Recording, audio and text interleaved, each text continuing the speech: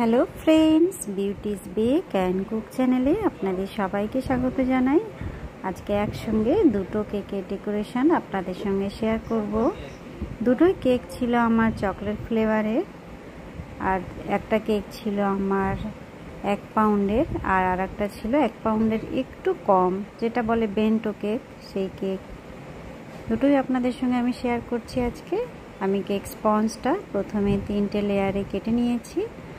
আমি প্রথমে sugar syrup দিয়ে কেক স্পঞ্জটা প্রথমে হালকা করে ভিজিয়ে নিয়েছি।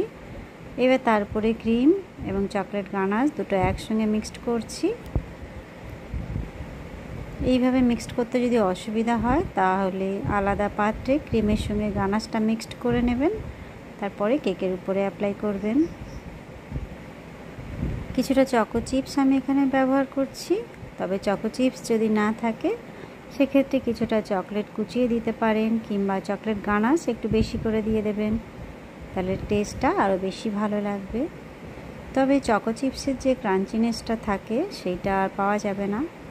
সেই কারণে বলব, বাড়িতেই চকো চিপস বানিয়ে নেবেন। জাস্ট চকলেটটা মেল্ট করে নেবেন, কোনো ক্রিম ছাড়াই। তারপরে একটা কি বলব, যেটা বলে, যে কোনো প্লাস্টিক বলতে পারেন, তার উপরে ছোট ছোট করে ডট ডট দিয়ে সেটা হাওয়ায় শুকনো করে নেবেন, নিয়ে এয়ারটাইট কন্টেনারে করে ফ্রিজে রেখে দেবেন। এগুলো অনেক দিন ভালো থাকে। এবার যখন যেরকমভাবে আপনি কেক রেডি করবেন, সেই সময় চকো চিপসটা ব্যবহার করবেন। আমি এখানে আস্তে আস্তে তিনটে লেয়ার দিয়ে নিলাম। প্রথমে আমি এটা ক্রাম কোট করব। ক্রাম কোট করে আমি 10 থেকে পনেরো মিনিট ফ্রিজে রাখব। তারপরে এরপরে ফাইনাল লেয়ারটা দেব। ফাইনাল আইসিংয়ের আগে সব সময় চেষ্টা করবেন ক্রাম কোট করে সেটা ফ্রিজে রেখে দিতে। কেননা ফ্রিজে রাখলে কি হয়, কেকের ক্রামগুলো আর উপরে উঠে আসে না। আইসিংটা সুন্দর হয়। অবশ্য যদি মনে করেন যে ফ্রিজে রাখব না, হাতে সেরকম টাইম নেই সেক্ষেত্রে বলব একটু বেশি পরিমাণে ক্রিম তাহলে ব্যবহার করতে হবে। নচেত কিন্তু ফিনিশিং ভালো আসবে না। আমি এখানে 10 মিনিট ফ্রিজে রেখেছিলাম আর এটা আমি ফাইনালাইজিং করছি। এখানে আমি কিন্তু পার্পল কালার ইউজ করেছি যেটা আমার ক্যামেরায় পুরো উল্টো দেখাচ্ছে, এটা ব্লুইস দেখাচ্ছে অ্যাকচুয়ালি না, এটা পার্পল কালার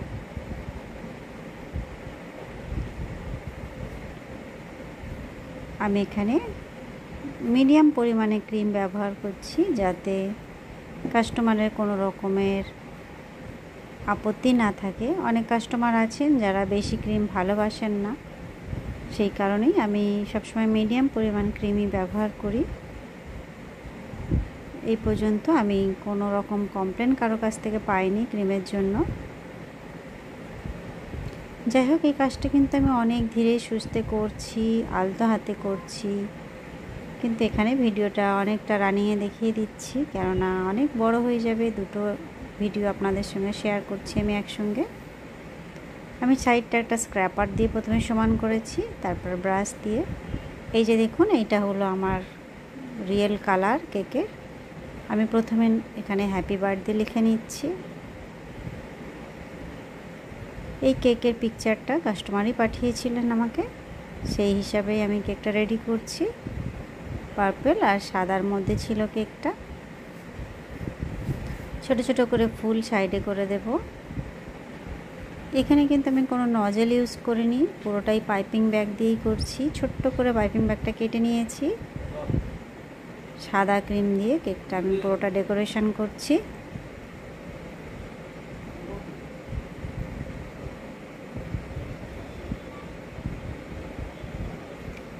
কেকগুলো সিম্পলের উপরে কিন্তু খুবই সুন্দর লাগে দেখতে। সব সময় মনে করলে হবে না যে বেশি বড় বড় ফুলেই বেশি ভালো লাগে অ্যাকচুয়ালি তা নয়। হালকা ডিজাইনের উপরেও কেকগুলো দারুণ সুন্দর লাগে। আমি কেকের সাইডেও ফুলগুলো বানিয়ে নিচ্ছি। দেখুন কীভাবে ফুলটা করছি। এতে দেখতে বেশি ভালো লাগে। এইভাবে যদি ফুলের শেপগুলো দেন। অনেকেই মনে করেন নজেল নেই, কীভাবে কেকটা ডেকোরেশন করব বা যারা নতুন আছো নজেলের ব্যবহার এখনও ঠিক করে জানো না?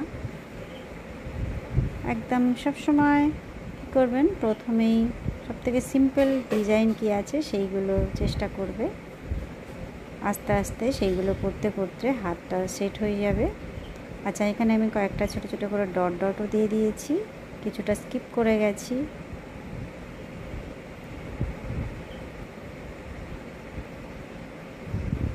এবার আমি ইয়েলো কালার ক্রিম ভরে নিয়েছি পাইপিং ব্যাগে ফুলের মাঝখানে দিয়ে দিচ্ছি। যেভাবে ছবিতে ছিল সেটাই আমি ফলো করছি।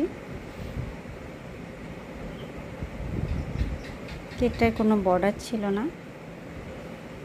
সেই কারণে আমি এখানে বর্ডার দিয়ে নিই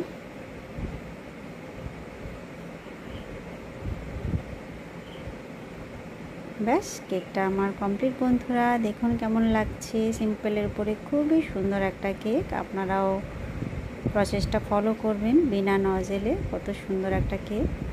এটাও আমার বিনা নজেলের আর একটা কেক আমি ডেকোরেশন করছি, যেটা হলো বেন্টো কেক এখানে আমি লাইট ইয়েলো কালার ইউজ করেছি। Just one drop yellow colour ক্রিমের সঙ্গে মিক্সড করেছি, যেটা অনেকটা ক্রিম কালার হয়েছে।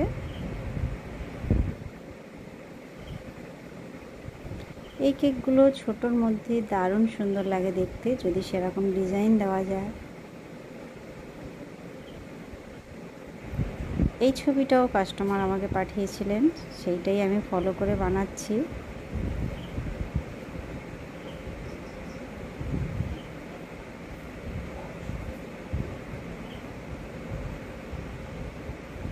আমি একটু তাড়াতাড়ি এগুলো দেখিয়ে দিচ্ছি, তাহলে অনেকটা বড় হয়ে যাচ্ছে। আমি একটা বড় স্ক্র্যাপার নিয়েছি, দেখুন, এগুলো স্টেন স্টিলের স্ক্র্যাপার বড় সাইজের হয়, এগুলো দিয়ে কাজ করতেও সুবিধা হয়। উপরটা আমি এইভাবে ফিনিশিং দিয়ে নিলাম। এই যে আমার কেকের প্রপার কালার আমি জানি না কেন ক্যামেরায় দিনের বেলা একরকম, রাতের বেলা আর রকম হয়। এখানে কিছুটা পার্পল কালার আমি নিয়ে নিয়েছি, নিয়ে একটা স্প্যাচুলা দিয়ে মাঝখানটায় দিচ্ছি। যেরকম ডিজাইন ছিল সেই রকম করার চেষ্টা করছি। দুই সাইডটা একটু উঁচু থাকবে আর মাঝখানটা প্লেন থাকবে। সেই রকমই চেষ্টা করছি।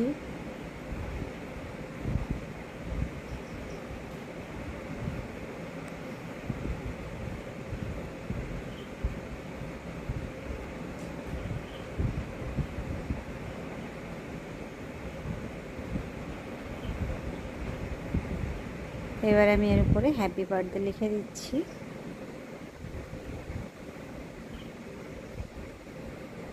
লেখাটাও কিন্তু ডিফিকাল্ট ব্যাপার হয়ে যায়, কারণ এটাও প্র্যাকটিসের ব্যাপার। আর ক্রিমটা যখনই ব্যবহার করবেন, একদম স্মুথ যেন থাকে, সেটা খেয়াল করবেন, নচেত লেখা মুশকিল হয়ে যাবে। এবার আমি এখানটা হচ্ছে ক্রিমের সঙ্গে অরেঞ্জ কালার মিক্সড করেছিলাম। আর দেখুন, এই যে প্লাস্টিকের ছোট ছোট স্পুন পাওয়া যায়, সেইটা দিয়ে আমি কাজটা করছি। এই রকম স্টাইলের ডিজাইনটা ছিল। কিন্তু আমার কাছে তো সেরকম প্যালেট নাইফ নেই, যার জন্য আমি এটা স্পুনের সাহায্যে করছি। দেখুন, একদম সেম দেখতে হয়েছিল কেকটা। কোনো রকমের অসুবিধা আমার হয়নি। এইখানটায় ক্রিমের সঙ্গে আমি কিন্তু ব্লু আর তার সঙ্গে one drop black colour mixed করেছি। দুটো কালার মিক্সড করে এই কালারটা এসেছে। পুরোপুরি কেকের ছবি যেরকম আছে মানে কাস্টমার যে ছবিটা পাঠিয়েছে আমি সেইটার ফলো করেই বানাচ্ছি।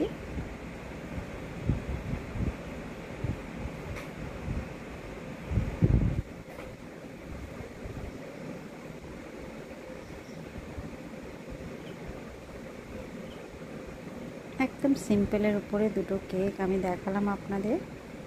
একদম নজেল ছাড়াই কিন্তু এগুলো ট্রাই করতে পারেন।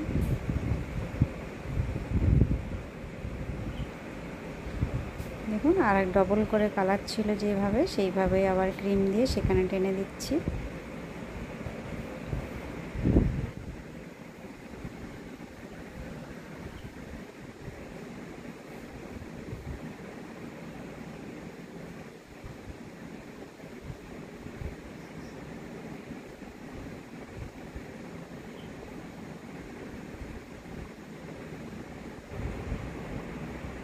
আমি একটু করে ডট দিয়ে দিচ্ছি, আবারও স্পুন দিয়ে টেনে দিচ্ছি। যেহেতু এই ক্রিমটা আমি পাইপিং ব্যাগে ভরে রেখেছিলাম, যার জন্য এইভাবে করলাম। দেখুন কেমন লাগছে বন্ধুরা। ভালো লাগলে অবশ্যই একটা লাইক করবেন, চ্যানেলটা সাবস্ক্রাইব করে রাখবেন। দেখা হবে নেক্সট ভিডিওয়ে। সবাই ভালো থাকবেন। Bye bye.